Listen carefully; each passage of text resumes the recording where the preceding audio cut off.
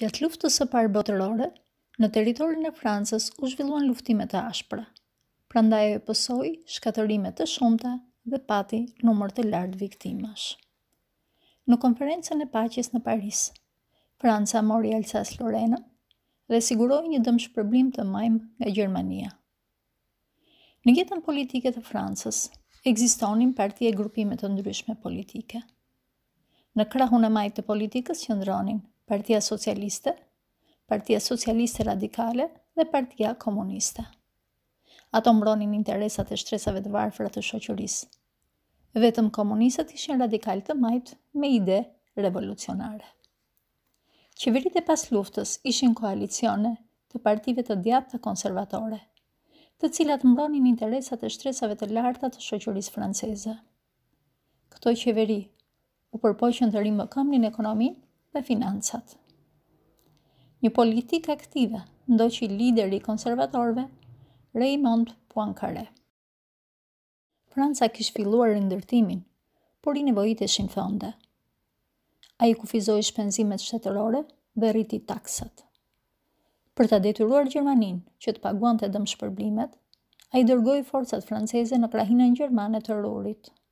Kriza e Rurit u zgjidh me ndërhyrjen e fuqive të mëdha me tërheqjen e trupave franceze.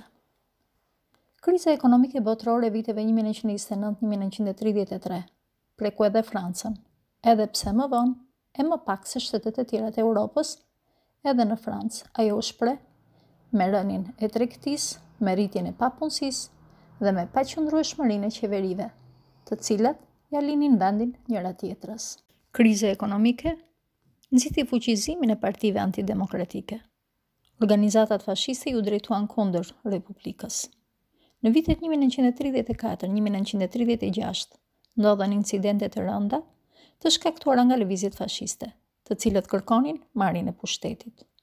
Në vitin 1935, elementet e majtë socialistë, komunistë e radikalë u bashkuan në një koalicion politik që u quajt Fronti Popullor. Programi i Frontit Popullor kërkonte ndalimin e diktaturës fashiste dhe marrjen e masave me karakter ekonomik. Në zgjedhjet e vitit një mijë e nëntëqind e tridhjetë e gjashtë fitoi Fronti Popullor. Qeveria u drejtua nga socialisti Leon Blum. Qeveria mori një sërë masash pozitive për të përmirësuar situatën ekonomike, por dhe situatën politike të trazuar nga partitë ekstremiste të djathta. Parlamenti miratoi kufizimin e punës me dyzet orë në javë, të drejtën e pushimeve të paguara për punëtorët dhe kontratat kolektive të punës. Qeveria shtetëzoi industrinë e armëve dhe të aviacionit. Riorganizoi Bankën e Francës duke e vendosur nën kontrollin shtetëror. Në bujqësi, për të ndihmuar fshatarësinë, u ndoq politika e vendosjes së çmimeve fikse. Një masë tjetër e marrë nga qeveria e Leon Blumit ishte dhe shpërndarja e organizatave fashiste. Leon Blumi shprehej hapur se ai po ndiqte një kurs të ri francez. Ndërkohë konservatorët i konsideronin këto politika tepër të majta dhe që po përgatitnin terrenin që në Francë të vendosej modeli totalitar bolshevik.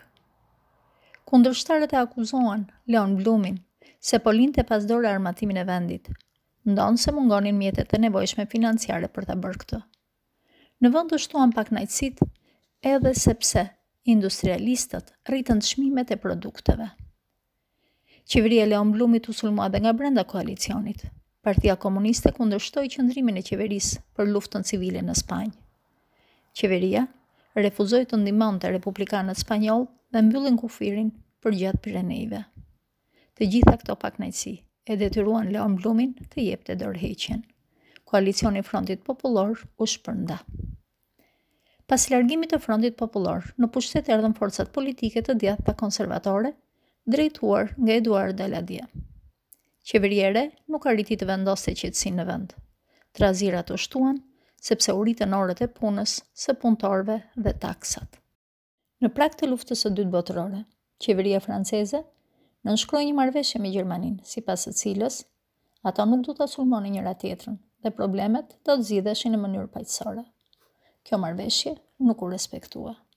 Kështu, fillimi i luftës së dytë botërore do ta gjejë Francën të papërgatitur për luftën.